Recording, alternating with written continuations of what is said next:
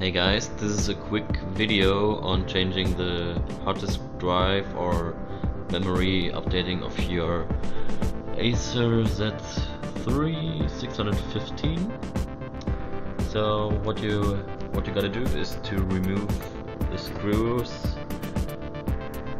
that hold this thing here in place. I've done that before. And there are three other screws down here you have to remove. And then you can just uh, pull out the case and open it up. And what we see here down there is the hard disk drive. I already upgraded my hard disk so I installed a new SSD drive here. This is the old one.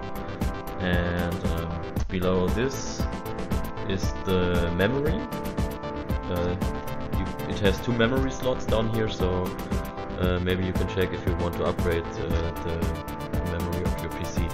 You have to remove some screws here, and then you ju can just remove the casing. I won't show that right now, because I don't need to.